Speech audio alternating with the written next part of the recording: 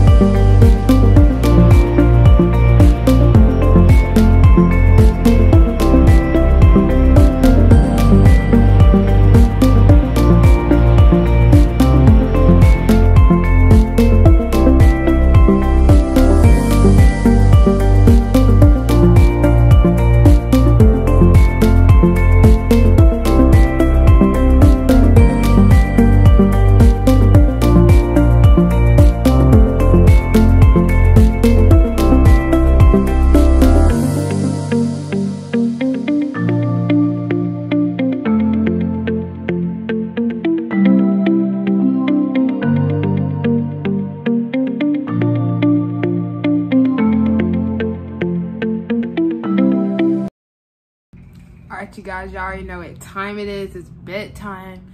I hope y'all enjoyed this video. I'll see y'all tomorrow for day six. Make sure y'all subscribe, like it up, and hit that notification button. And please, please share my video. Love y'all. Stay blessed. Peace. See y'all tomorrow for day six.